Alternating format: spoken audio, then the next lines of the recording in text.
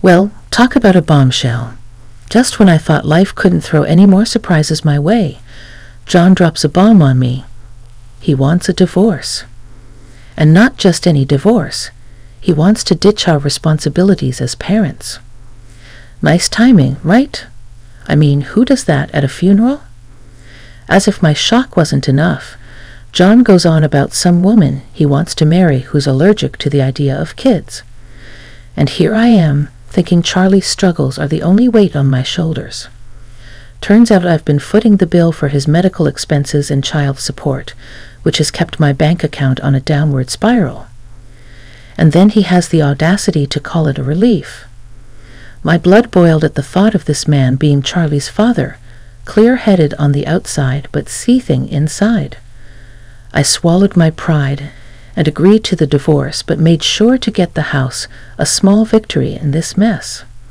Of course, John couldn't leave without ruining the funeral, turning pale as I read Charlie's will. The tension in the room was thick enough to cut with a knife, but I knew it was time to fight back. Hi there, I'm Natasha, a 42-year-old housewife turned freelance translator. I used to be tied to a company but now I enjoy the freedom of working for myself. My husband John, three years my senior, was once a client at my old job. We tied the knot when I was 29, and the following year, our son Charlie came into the world. But John's involvement in fatherhood, let's just say it was lacking. Charlie's life was a constant battle against his frail health. Despite my guilt over not being able to give him a stronger body, he faced every medical setback with incredible bravery. For twelve years he fought, but when he hit twelve, things took a turn for the worse. His small body couldn't handle the strain any more, and as the rainy season hit, so did a relentless cough. Hospital visits became routine, treatments a daily ordeal, but his condition only worsened. Mom, sorry for being hospitalized again. Don't be sorry. You're going to get better, right? Yeah, I'll try my best, Charlie said with a weak smile. I felt tears welling up, but couldn't cry in front of him. I held it in as best I could. When Charlie finally fell asleep, I called John, but no matter how many times I called, he didn't answer. Maybe he was at a business meeting, so I switched to messaging. John's reply came the next morning. Seeing his message, I called him immediately. This time he picked up right away. What now, so early in the morning? Don't what now me? Why won't you come? Charlie's fighting so hard. Well, my being there won't cure his sickness, right? And hey, the hospital bills must be piling up again. Tell the doctor to discharge him as soon as possible. What? How can you say that? I can't hear you. I'm off to work now. Wait. John hung up without listening to me. He'd always been indifferent towards Charlie, but he'd never been this cruel before. I clenched my phone, shaking with anger. Even as the rainy season ended and summer began, Charlie's condition didn't improve. The doctors doubted he would make it to winter, so I cut back on work to be with him as much as possible. Mom, you've been with me from morning to evening lately. Is your work okay? It's fine. I'm managing everything from home, so don't worry. You say so. Charlie didn't seem convinced. He probably thought my work had dried up because of him. After that conversation, to avoid causing him any more stress, I started bringing my laptop and working right in front of him. Charlie loved books and spent most of his days reading. He also liked studying and would join the hospital school when he felt up to it.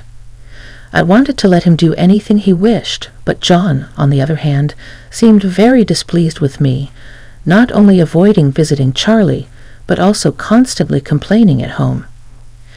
Hey, is that kid still not discharged? Staying in a private room, huh? What a waste of money. How can you say that when your son is fighting so hard? Why don't you visit him for once? I'm busy, okay? you visiting him is enough. John never changed his attitude and never visited Charlie in the hospital, even though he was Charlie's father. I knew Charlie must be feeling lonely, but I understood that forcing John to visit against his will wouldn't help, so I didn't push it further. By this time, John often came home late, reeking of alcohol. He claimed it was for client entertaining, but the lipstick on his laundered shirts and receipts for motels hinted at an affair. He couldn't make time for Charlie, but had time for some other woman. My love for John had run out, but I feared that divorcing him would sadden Charlie. I thought so and endured it. Meanwhile, Charlie's condition worsened. Called him by his doctor. I was told something shocking. I'm sorry, but he only has about a month left. What? Doctor? Isn't there anything you can do? There's not much more we can do. As I broke down in tears, the doctor assured me, We'll do our best till the very end. For about half a month, we continued treatment, consulting with the doctor, but as expected, Charlie's body weakened further. Am I going to be gone soon? What are you saying? There's so much more you want to do, right? I encouraged him with those words, but cried in private, away from Charlie's sight. Finally, when the doctor said that further treatment was pointless, I decided to take Charlie home to spend his last moments. Are we going home? Yes. The doctor said a change of scenery for a few days would be good. Yea. Charlie's weak yet childlike response made me fight back tears. I told John about it, but all he said was, Ha and left the house. This man is beyond redemption. I had completely lost hope in that man. The discharge was scheduled for the next evening, so I busied myself with preparations and paperwork while packing Charlie's belongings. He suddenly asked, Mom, do you love Dad? Surprised by the sudden question, I stopped what I was doing. Charlie continued without waiting for my response Dad doesn't seem interested in me or you. So if you don't love Dad, I want you to divorce and live your life. Charlie must have realized that things weren't going well between John and me, but as a parent, I couldn't let him worry about us till the end. I quickly put on a smile and replied, What are you talking about? I love your dad, and he cares about us too. He's just too busy to visit, so don't worry, okay. Okay. I guess Charlie didn't seem convinced, but he stopped pursuing the matter after that. He fell asleep, and I breathed a sigh of relief by his side. Two days later, Charlie passed away at home. John never showed up till the end, and I stayed by Charlie's side, holding his hand. Charlie, Charlie. I cried out loud, clinging to his cooling body, remembering everything from the moment he came into my life. The doctor and a nurse who had been with us since Charlie was young came to mourn with us and explained the next steps. One of them handed me a letter from Charlie's bag. This is from Charlie. He said to give it to you if anything happened. I received the letter, expressing my gratitude to the doctor and the nurse. I was alone without John's help, and Charlie was suffering from his illness. I can only be grateful to those who kindly supported us through this difficult time. After they left, I opened the letter beside Charlie. The content made me cry out in surprise. What is this? Charlie's letter contained not only his gratitude, but also something shocking. Reading it, I felt my blood boil. Even as the funeral director came to discuss arrangements, my mind was full of the letter's content. Still, I had to decide on the details for Charlie's sake, planning a small, homey funeral. Then, the day before the funeral, John finally showed his face, still reeking of alcohol. I had no energy left to confront him. John, noticing my exhaustion, casually commented, You've aged, as he took out more alcohol from the fridge to drink. Tomorrow is Charlie's funeral. Where have you been? I told you I was at work. What's with all these complaints? Why could I marry such a man? No, without him, I wouldn't have met Charlie. My mind was in turmoil. Charlie is no longer with us. Oh, yeah, that's right. His attitude, as if Charlie was some distant relative, filled me with simmering anger. But arguing with him was pointless, so I decided to focus on the funeral arrangements for the next day. Lucky me, no more child rearing expenses. Let's get divorced. What? I couldn't hide my shock when John suddenly said this during the funeral preparations. I knew he was selfish, but this was too much. There's a woman I want to marry, but she doesn't want kids, so with Charlie alive, the child support and medical expenses would drain my money. Ah, what a relief. How terrible. I felt a chill run through me that such a man was Charlie's father. As my head cleared, my anger boiled over. I agreed to the divorce right then. I'll take the house, so get out as soon as you can. Just wait until after the funeral. Fine. With that, John left. On the day of the funeral, I read Charlie's will. John turned pale while relatives glared at him with fierce faces. Now it was time for my counterattack. The will I read, written by Charlie, exposed John's affair. At the funeral, John had been playing the role of a grieving father, crying loudly. How could such a letter be true? It's a prank, right? Natasha said. I felt sorry for not visiting due to work, but this was too much. John tried to deny it, appearing very pathetic. I silently took out an envelope from my bag and thrust photos in front of John. What? You took pictures. Troubled by being caught in a photo with a woman he was arm in arm with, John stumbled over his words, his face still pale. I smiled sweetly and asked the relatives to pass around a few photos I had. Whispers of disgust and small cries of shock arose from all around. Despicable. Not visiting his frail son, but with this woman in such a scandalous manner. The glares at John intensified, and he slumped down in his seat. I then presented John with the divorce papers. He looked up at me in shock, his voice cracking as if he was about to cry. You didn't pay attention to me because you were always nursing him. It was just a fling. Forgive me. I don't want a divorce. Not paying attention, you're not a child. I repeatedly asked you to help me nurse him, but you always ran away clinging to work as an excuse. But nursing is dirty. As soon as John said that, he disappeared from my view. When I looked down, he was crawling on the floor with my father-in-law standing over him, breathing heavily. What do you mean nursing your own son is dirty? A parent who doesn't care for their child isn't a parent at all. You're the lowest of the low. My in-laws had always adored Charlie. They celebrated every hospital discharge with a meal, watched Charlie's favorite shows, and never missed a visit. They had been covering for John, believing his excuses about being busy at work, never imagining their own son could be such a disgrace. Tears streamed down their faces as they glared at John, who sat in disbelief, clutching his cheek where he had been struck. Natasha, I'm so sorry. We had no idea. If we knew he was such a man, we would have encouraged you to divorce him sooner. We are truly sorry. They began to bow deeply, and I hurried to lift them up. It wasn't their fault. Charlie loved his grandparents, and their presence was one reason I hadn't divorced John.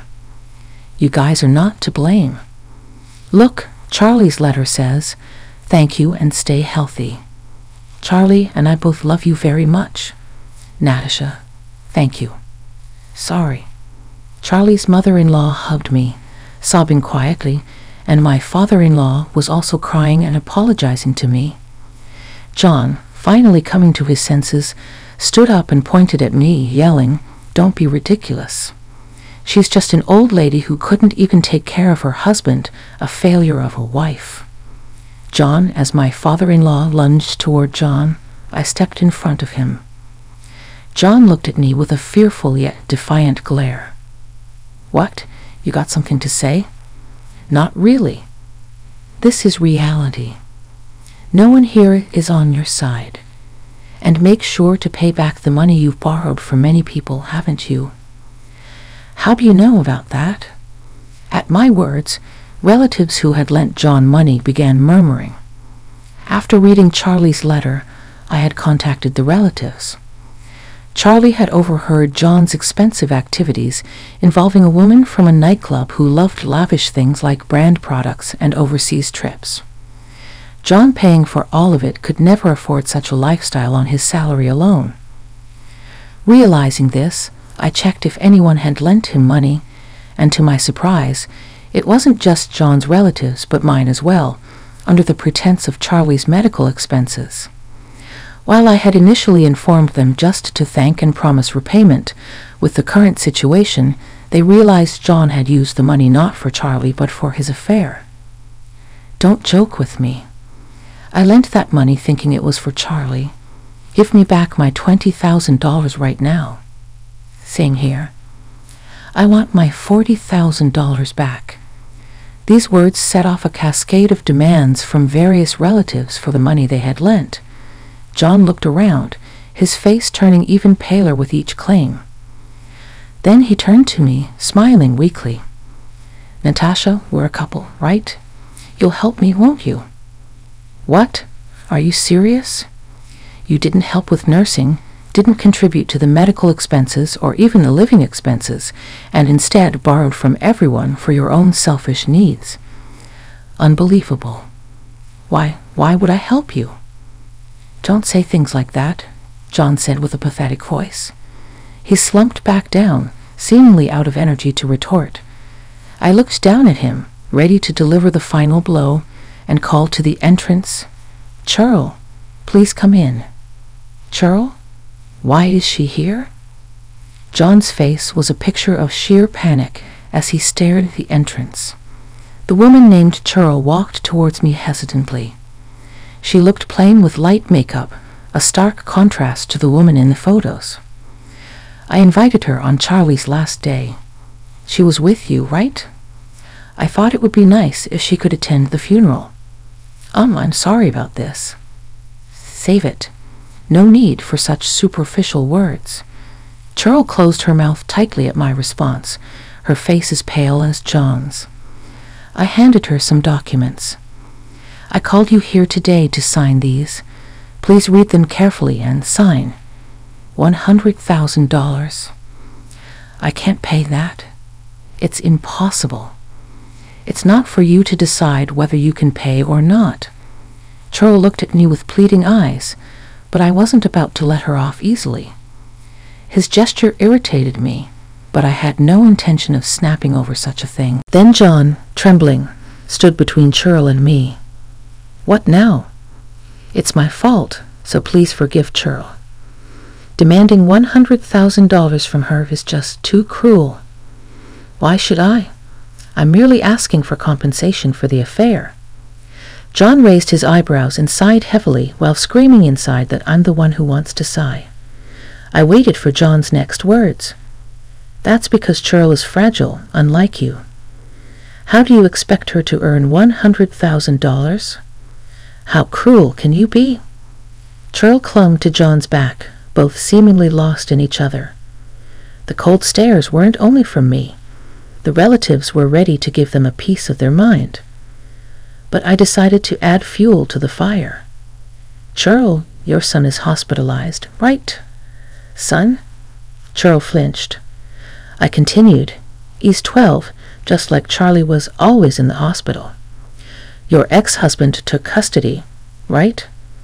With all the hospital and treatment costs, not to mention the bed fees, you must be getting quite a demand for child support, aren't you? How? How do you know that? Cheryl looked at me as if she'd seen a ghost. John was frozen in shock. I pulled out some documents from my bag and handed them to John.